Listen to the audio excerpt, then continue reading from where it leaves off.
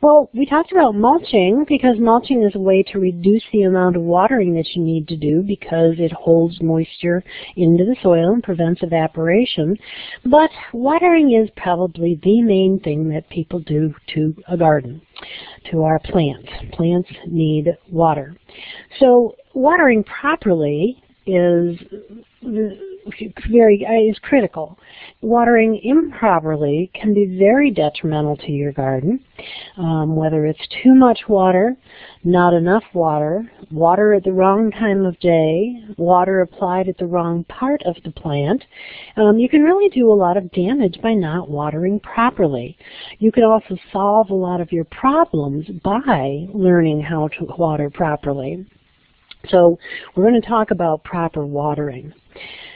Of rule of thumb that's used for watering is to apply one inch of water per week. Um, one inch of water equals about six gallons per 10 square feet.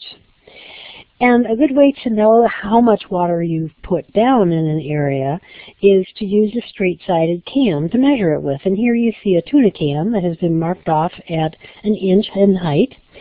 And the straight-sided can means that you're measuring exactly, you know, the, the proportion is exactly the same. So you're collecting an inch of water in the can, then you know you've put an inch of water onto that area of the garden. Sandy soil requires more water, but it needs to have that water in several waterings per week rather than one long watering session. Clay, on the other hand, needs to have one long watering session and then don't water again for another week. Um, sandy soil doesn't hold water for very long, and so you put a you put a little bit more on each time, but it runs through much more quickly, so the plants don't get the benefit of it, and that's why you have to do it more often. So an inch of water per week uh, is kind of the rule of thumb for lawns, for vegetable gardens, for gardening in general.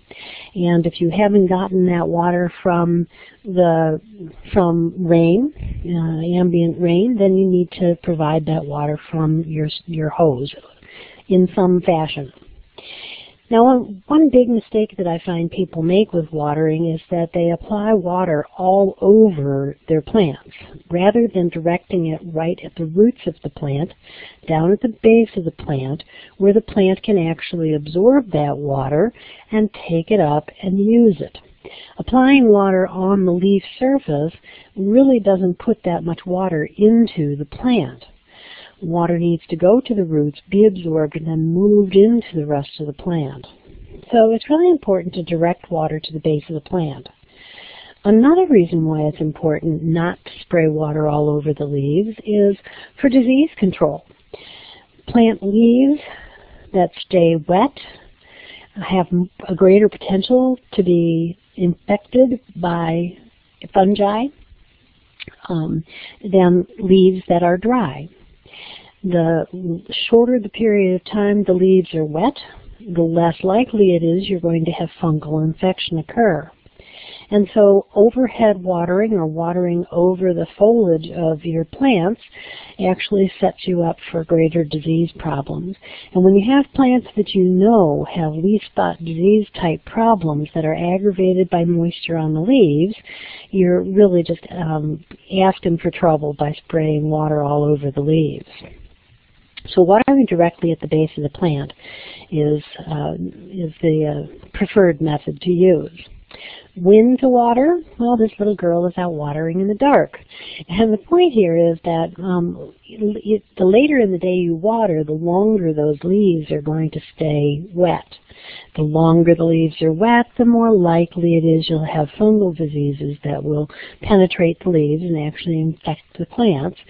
So it's better to water early in the day. If you are going to have to water overhead, do it early in the day when that water is going to evaporate very quickly and the leaf wetness will be, the, the period of time that the leaves will be wet will be reduced to a minimum.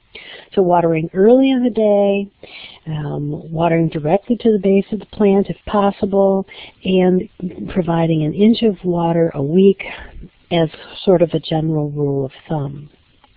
We'll talk with containers about how that uh, some of those rules change when it comes to containers because containers use so much more water and you'll need to water them a lot more often.